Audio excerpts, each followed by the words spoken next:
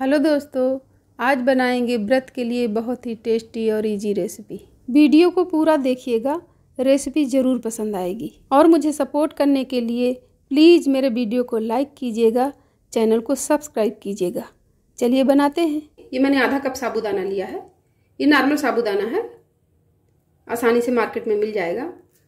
आप चाहें तो छोटा छोटा आता है नायलॉन साबुदाना, उसको भी ले सकते हैं। अब इसको एक बाउल में डाल लेंगे। अब इसको दो बार पानी से धुल लेते हैं। साबुदाना को मैंने दो बार पानी से अच्छे से धुल लिया है। इसमें जो थोड़ी बहुत धूल रही होगी, वो निकल गई, अच्छे से साफ़ हो गया है। अब इसको पाँच मिनट के लिए छोड़ देते हैं। अब चलते हैं गैस की तरफ़, बाकी की तैयारी करने। अब गैस में एक कड़ाही रखेंगे, गैस को ऑन कर लेते हैं। गैस को मीडियम फ्लेम में कर लेंगे। अब इसमें डालेंगे एक टेबल स्पून घी। अब सबसे पहले इसमें मूंगफली भून लेते हैं। ये एक चौथाई कप मैंने मूंगफली ली है। इसको इसमें डाल के भून लेंगे। इसको लगातार चलाते रहेंगे, जिससे अच्छे से भून जाए। इसको ज़्यादा नहीं भूनना है, केवल दो मिनट भूनना है। इसका केवल कलर बदल जाए, बस निकाल लेना है। ये देखिए, दो मिनट हो गए हैं, अब इसको बाहर कर लेते हैं। देखिए, इसका कलर बदल गया है, इसको निकाल लेते हैं बाहर। घी को छान देंगे, ऐसे करके निकाल लेते हैं। अब इसमें डाल लेते हैं आधा स्पून जीरा। और एक आलू मैंने लिया है, इनको ऐसे टुकड़ों में काट लिया है, देखिए। इनको भी इसी में डाल के भून लेते हैं आलू को। आलू जब घी से भून जाएँगे तो बहुत अच्छा टेस्ट आता है। व्रत में जितने नाश्ते बनते हैं, उससे सबसे आसान है खिचड़ी बनाना। अब दो मिनट हो गए हैं, आलू भून गए हैं देखिए। अब इसमें डाल लेते हैं हरी मिर्च। मिर्च आप अपने हिसाब से कम ज़्यादा कर सकते हैं। इनको भी थोड़ा सा भून लेंगे दो तीन सेकेंड के करीब। अब इसमें डाल देते हैं अदरक का टुकड़ा। ये आधा इंच का अदरक का टुकड़ा था, इसको मैंने ग्रेट कर लिया है। अभी सारी चीज़ें अच्छे से भून गई हैं। अब इसमें डाल देंगे साबुदाना। ये जो मैंने धुल के रखा था ना, इसको डाल देते हैं। अब साबुदाना को भी इसमें दो मिनट भून लेंगे।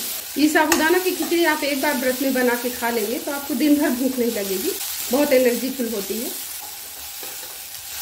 अब दो मिनट हो गए हैं। साबुदाना भी अच्छे से भुन गया है। बहुत अच्छी खुशबू आ रही देसी घी की। खाने का मन करने लगा। अब इसमें पानी डाल देते हैं।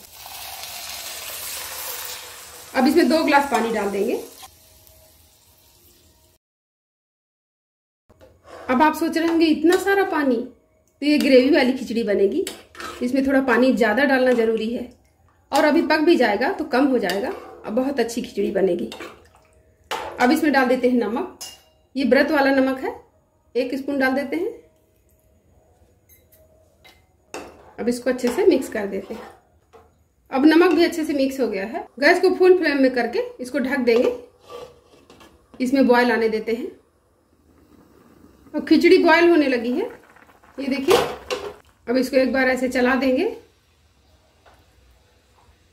और गैस को एकदम लो फ्लेम में कर देंगे। अब इसको दो से तीन मिनट तक पकने देते हैं। अब तीन मिनट हो गए हैं, खिचड़ी को देख लेते हैं। ये देखिए, खिचड़ी गाढ़ी होने लगी है। अब इस स्टेज में डाल देंगे इसमें टमाटर। ये मैंने दो टमाटर लिए हैं, मीडियम साइज़ के। इनको थोड़ा बड़े टुकड़ों में काट लिया है। इसको डाल लेंगे। आप अगर टमाटर ना खाते हो तो इनको हटा सकते हैं। इसकी जगह आप नींबू का रस डाल सकते हैं। थोड़ा सा खट्टा हो जाएगा तो खिचड़ी अच्छी लगती है। अब इसमें डाल देते हैं मूंगफली, जो मैंने भून के रखी थी। मैंने इनका छिलका नहीं निकाला है। आप चाहें तो छिलका निकाल के भी डाल सकते हैं। अब इसमें डाल देते हैं आधा स्पून काली मिर्च पाउडर। अब इसको अच्छे से मिक्स कर लेंगे। अभी अच्छे से मिक्स हो गया है। अब इसमें डाल देंगे धनिया के पत्ते। थोड़े से, जितना आपको पसंद हो। इनको भी मिला लेते हैं।